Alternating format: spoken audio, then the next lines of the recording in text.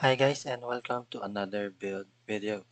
So for this video I'm going to share to you Iceborne builds for all the uh, weapons that can help you complete the Frost, the heroic Frost escalation. So to start off with the build we're going to use Torgadora's Chain Blades with Cunning and Berserker Cell, Specialist Reaper's Dance, Modest Rated Blades, and Helion Chain Blades for the bond.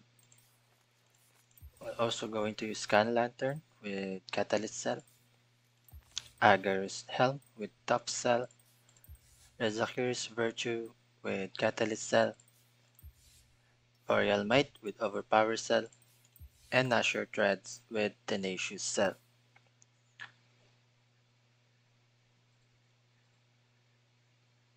Next is the sword. Going to use Torgadora's sword with Berserker and Cunning Cell, Specialist Avenging Overdrive, Modest Recursive Hilt, and Helion Sword for the bond.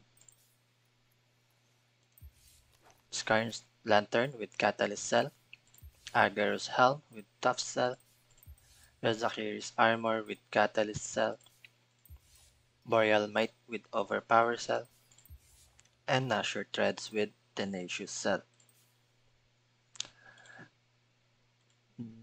Next is the axe. I'm going to use Torgadora's axe with Cunning's and Assassin's Frenzy Cell, Specialist Grim Onslaught, Modest Overcharged Cylinder, and Hylian's Axe for the bond. Again, Skarn Lantern with Catalyst Cell, Agar's Helm with Tough Cell, Rezakir's Armor with Catalyst Cell, Boreal Might with Overpower Cell, and Nashor Threads with Tenacious Cell. Next is the Hammer. We're going to use Torgadora's Hammer with Cunning and Berserker Cell, Specialist Mighty Land Breaker, Modest Extended Clip, and Hylian's Hammer for the bond.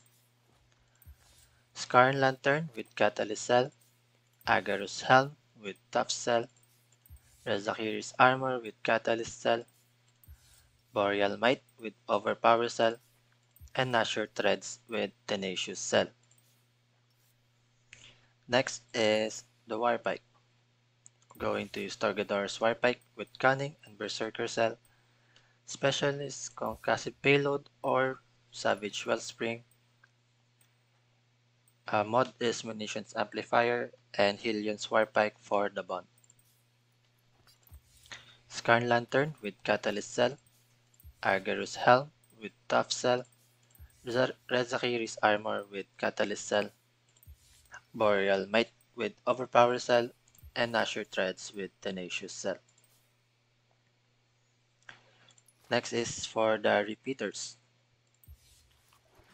going to use Ocean Repeaters with Assassin's Frenzy Cell and Fleet-Footed Cell. Barrel is the Torgador Barrel. Chamber is Marksman Chamber.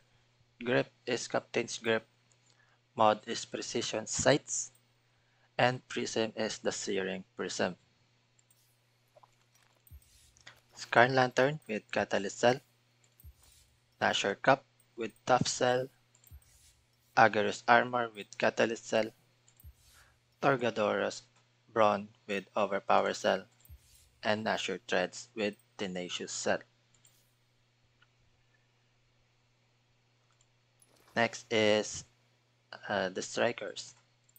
We're going to use uh, Torgador Strikers with Cunning and Berserker Cell, Specialist Titan's Crash, Modest Cyclonic Strike Plate, and Hylian Strikers for the bond.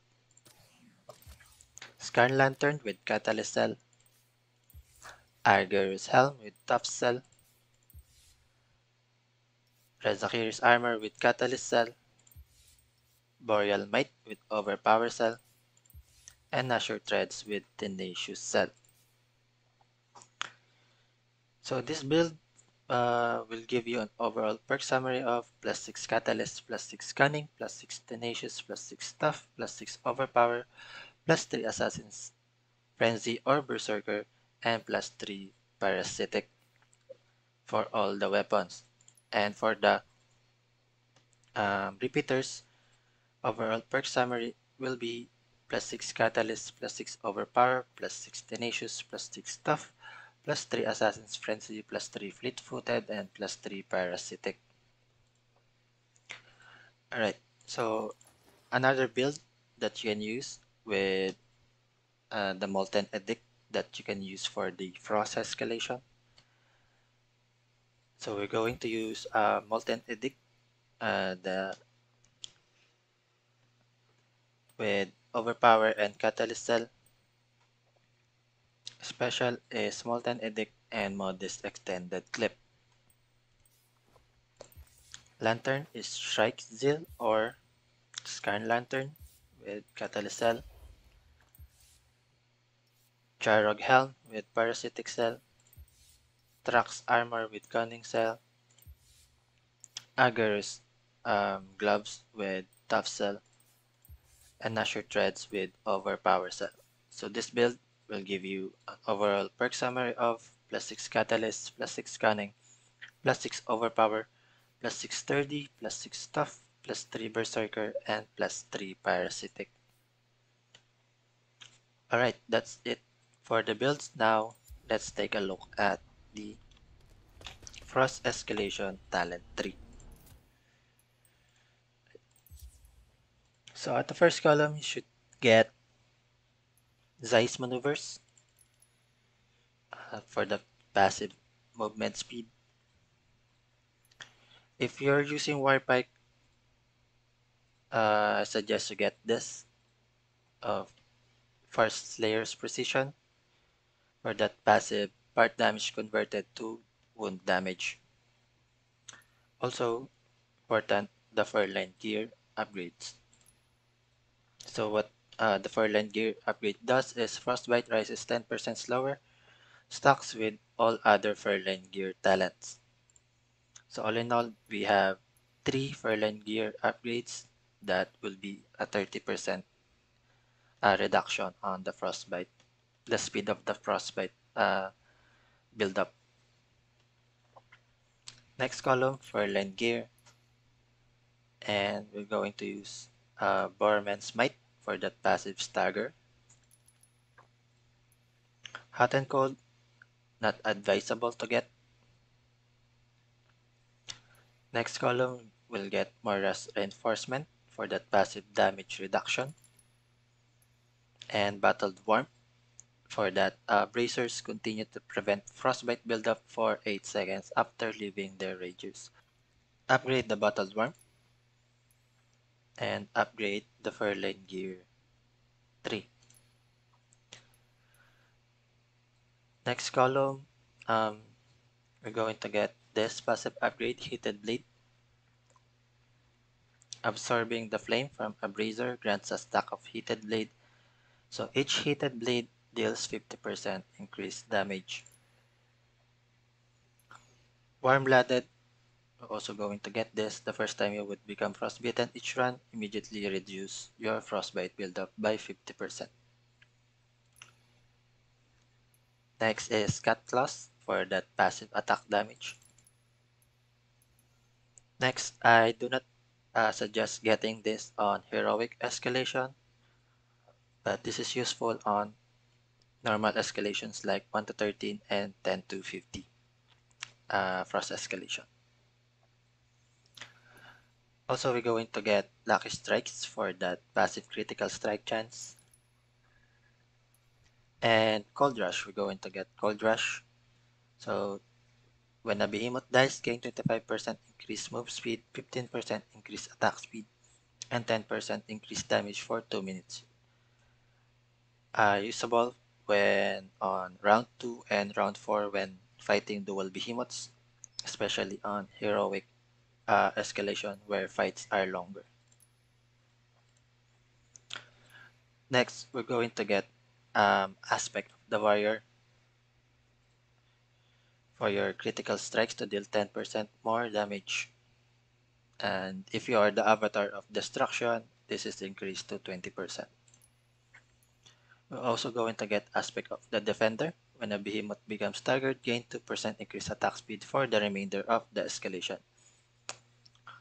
This uh, the bonus increases to 4% if you are the avatar of control. Aspect of the scout, we're also going to get this if um, you are a, a Warpike uh, user.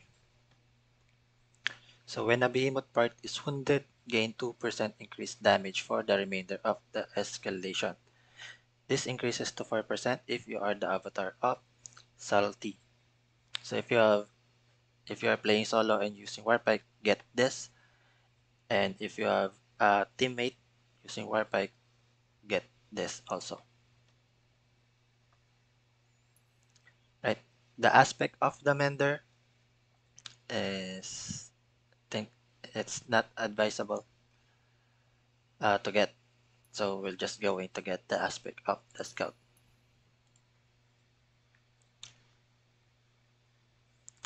Alright, and make sure for um, going into the heroic frost escalation, your frost escalation uh, level should be at level 25 or at least level 20 to get the power boost 3. Alright, that's it for the builds and the talent tree guide. Thank you for watching and have a good day.